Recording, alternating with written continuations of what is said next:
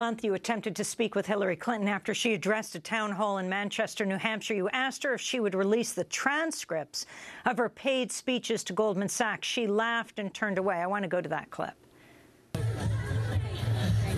Hi, Secretary Clinton. Will you release a transcript of your paid speeches to Goldman Sachs? Uh, no, there's a lot of controversy over their speeches. Secretary. Is that a no?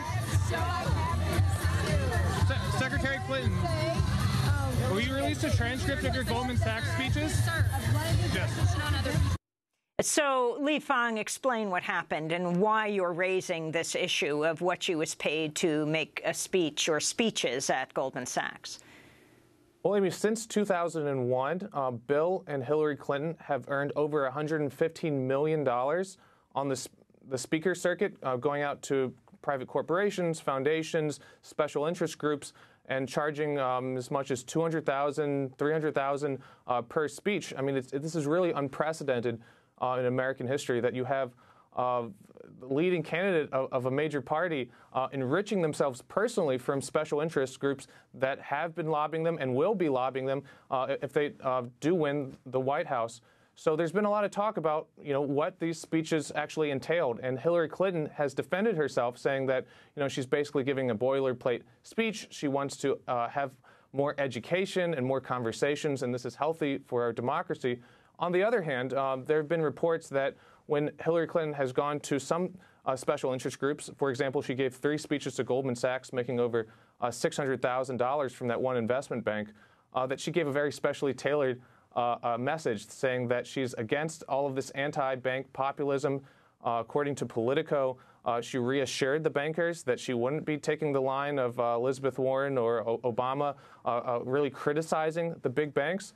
And so this is um, a, a, big issue. I because, want to get Ellen again, Chesler, a Hillary Clinton supporter, respect. to I mean, respond. I was at one of those Goldman Sachs speeches, and it was about foreign policy, completely about foreign policy, and the entire. Uh, uh, fee for the speaking went to support the Clinton Foundation. And this raises a big question, in my view. I mean, I think America needs to do a little bit better by its ex presidents because we've put them in a situation, and President Obama is going to be in the same situation, where in order to support uh, unless they're individually wealthy themselves, which is very rare, uh, in order to support their lives after uh, being in office. I mean, these offices no longer allow you to kind of fade away uh, to the Supreme Court, or as has been in the past. But you said or the money to goes to the foundation, not so to the them. money supported the foundation, almost all of it. I don't know exactly um, the numbers because I'm not inside.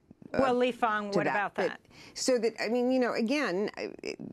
Well, let me ask. We only have 30 a, seconds. A, a, a, Lee Fang, your response I, I believe to that. Uh, the, the Clintons have said some of the money has gone to the foundation, but uh, the vast majority of it has personally enriched them. They've, you know, released their personal ethics disclosures, and the, it's, it's, clear that the Clintons have made a lot of money, uh, tens of millions of dollars, as I mentioned, uh, earning over 115 million dollars from uh, the, the, speaker circuit uh, over the last 16 years. And then they've um, given th it this to is the truly foundation. unprecedented. Then well, we're going to have to, to leave it there, but we'll continue to explore this, of course. Uh, Lee Fang with The Intercept, Ellen Chesler with the Roosevelt Institute, and thanks also to John Nichols from The Nation. This is Democracy Now! Uh, we will be covering New Hampshire. I'm Amy Goodman. Thanks for joining us.